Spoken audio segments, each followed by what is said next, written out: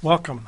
My name is Dennis Kucera. I'm the applications engineer from the MPEG product line. I'd like to spend the next several minutes going over the operation and usage of the MTS 4000 product.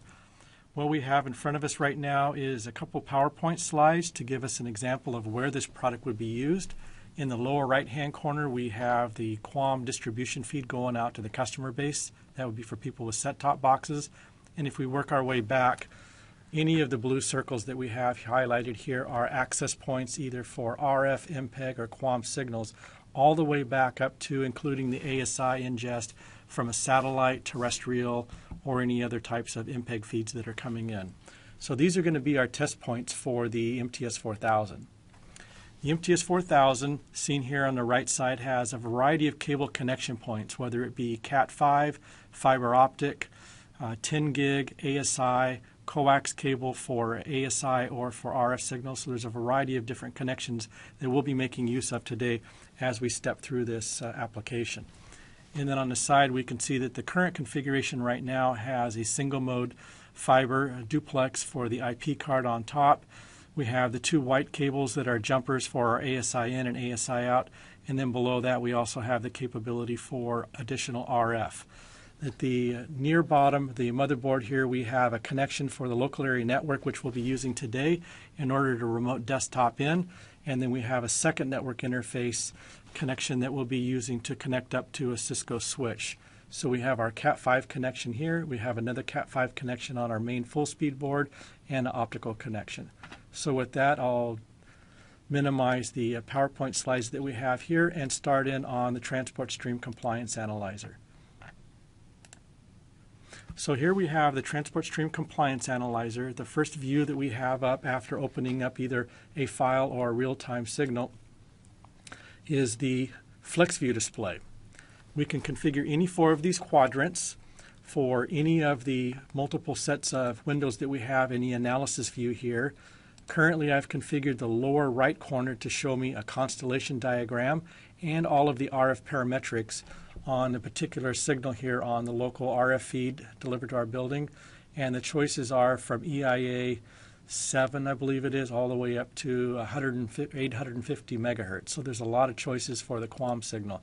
We also have our RF measurements here, the signal power level, and then the modulation error ratio, which is like a signal to noise measurement.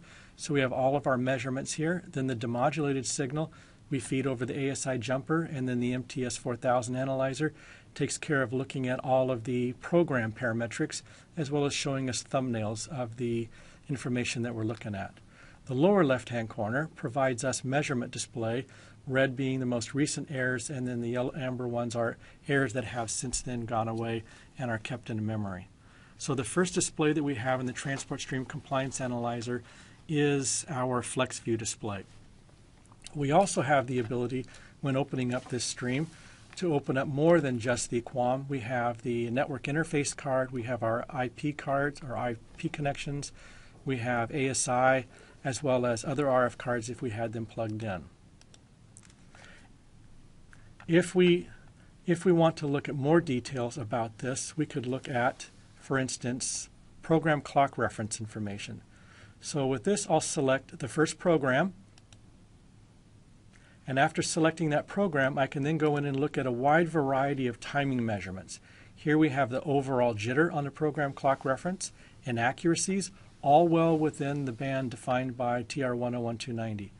We also have other parametrics that we can look at, such as the pr presentation timestamp and the delta value showing us with the presentation timestamp minus PCR how many milliseconds each frame is going to be held in memory of a set-top box before it's used, presented, and then flushed out the queue. So we have our minimums and maximums that we're making here, and we can make those on any one of the programs. They're actually all being made in parallel right now, whether we view them or not. And then the graphics can be shown if you want to log into the unit and review it. Any of the measurements that are in air get automatically put into a log file. If we go back to the transport analyzer and look at the event log, we have a historical representation of all the problems that have occurred, time stamped, and then an error message for each one of those. And that information can be exported uh, back to the PC. So that's the first transport stream compliance analyzer, and this unit can access multiple different ports all in parallel. So with that, I'll leave it running in the background, open up another one that's looking at an ASI signal. In this particular case, we're looking at a signal that could be coming in off of a satellite feed. So our input port now is the ASI. So we have that capability. If we go back to the flex view, we can see that we're looking at a standard definition feed here. So this is an MPEG feed coming in off of a remote ASI source. And similarly, we have the ability to look at multiple connection points again. And in this particular case, we're looking at the GigE port, one of the signals coming in off of the gigabit Ethernet. So these are looking at signals that are coming in live. We also have the ability, because this is a multifunctional box, to be able to generate streams at the same time. So here we have a transport stream player which is playing out over the IP network interface card and another transport stream player playing out over the ASI port. So this analyzer has the ability to analyze live signals and generate live signals at the same time. Now beyond that, another capability of this analyzer is the ability to remultiplex streams that you have acquired in recent history. So here's an example of the multiplexer application. And this application here, I'll go ahead and close down the most recent file that I opened up. And I will go in and open up a transport stream. This is the most recent one. And what it does is it disassembles and keeps track of all of the individual programs and allows you to individually add or subtract elements that you may deem necessary for your playout purposes.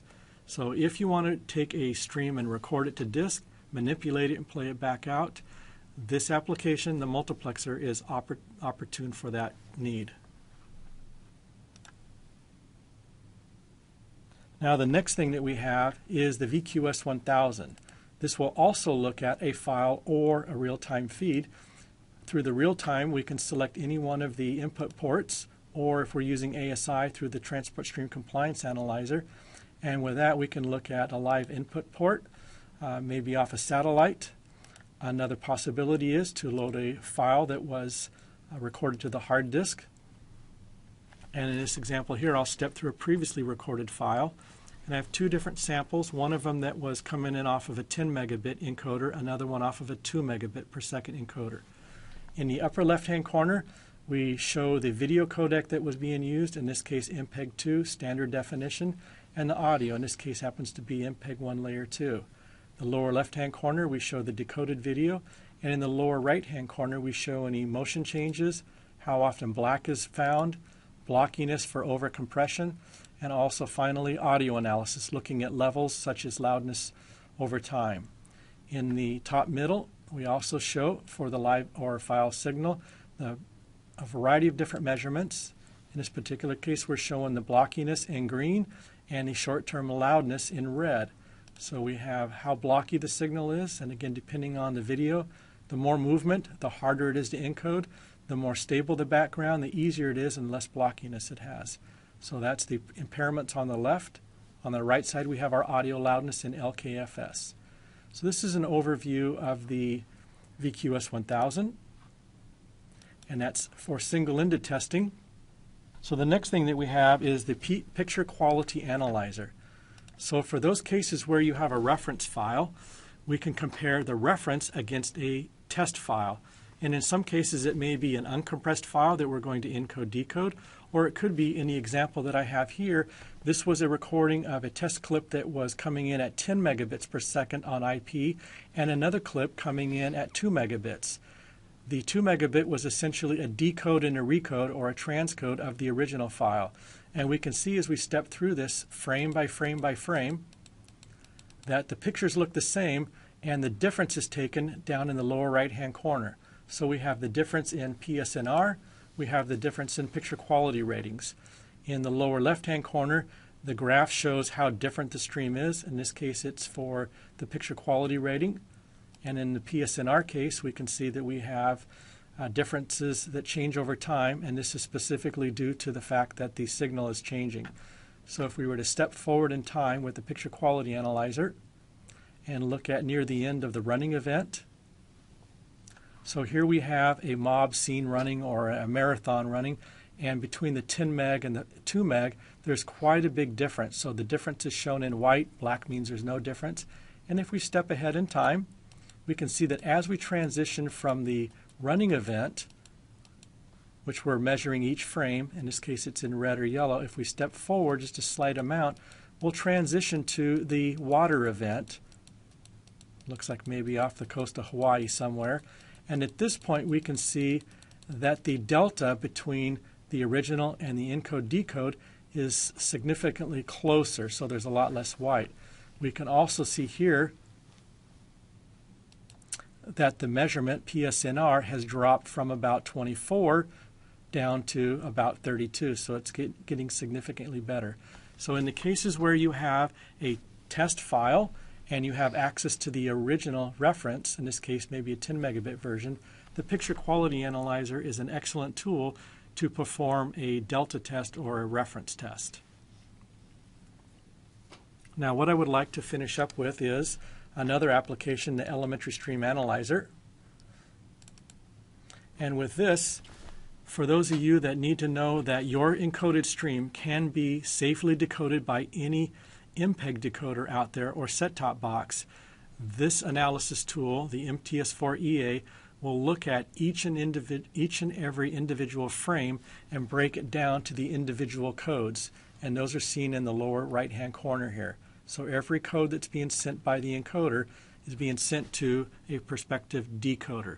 The MTS4EA is stepping through each one of those codes using the international standard and telling you whether it's valid or not. In the upper left-hand corner, we're showing you graphically how many bits per frame are being used. So this is more of a qualitative tool, but it will let you know when you have things such as B frames that are larger than I frames and so on. And then lastly, in the lower left-hand corner, we have our audio information, in this case stereo, that has been decoded. So if you want to perform a lip sync to an event that has some visual reference to it, whether it's a cannon going off or somebody clapping their hands, we can actually look at the individual video frame, look at the loudness, and see how many milliseconds apart they are.